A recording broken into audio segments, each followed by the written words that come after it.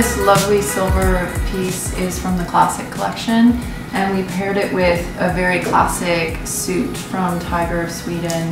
One of my favorites for suit cuts in it, it just looks so um, sophisticated.